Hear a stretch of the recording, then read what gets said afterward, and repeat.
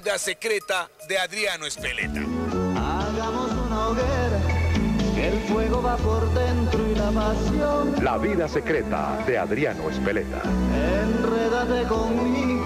Esta novela era la historia de un hombre que tenía un gemelo perverso, que había cometido un crimen, pero a quien habían acusado era a Adriano, quien huye de la justicia y se refugia en un pueblo en donde encuentra la justicia y al verdadero amor de su vida.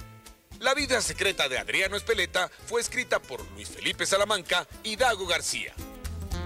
La dirección corría por cuenta de Alfredo Tapan, quien en este momento sigue dedicado a la actuación de dramatizados en Colombia. La novela era protagonizada por la bellísima Natalia Ramírez, quien encarnaba a Tania, una joven que se convierte en la mejor aliada de Adriano Espeleta, quien era representado por Luis Fernando Hoyos. Pero sí, fresco, don Roland, de, de- de alguna forma yo hablo con los médicos y, y pues les pido que me den facilidades de pago.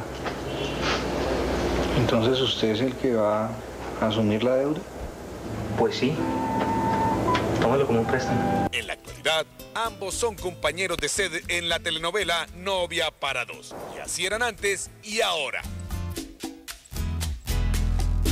La pareja era acompañada por un elenco de lujo, entre los cuales se destacaban Humberto Dorado, en el papel del malvado Vicente. En parte lo hice por ayudarla. Pagué por esa casa un precio mucho mayor que su valor nominal, de forma que todas las deudas que tenía su mamá con el banco quedaran saldadas. Y no eran pocas, se lo aseguro. Aquel antes y el ahora. Otro de los malos de la novela era Julio Sánchez Cócaro, quien le daba vida a Aquileo, el rico del pueblo que hacía negocios turbios. Aquel antes y el ahora. Otra de las malas del paseo era Silena Aicardi, quien interpretaba el rol de Violeta, una mujer inescrupulosa que con su belleza lograba todo lo que quería. Y aquí vemos las imágenes de Silena en el túnel del tiempo.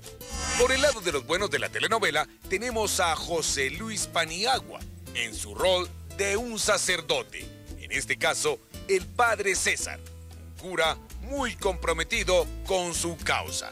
Aquí el antes y el después. Otro de los buenos era el flaco Solórzano, en el papel de Miguel. Y así va a seguir, papá. Usted no le pasó nada. Entonces, en unas pocas semanas usted está camellando como siempre.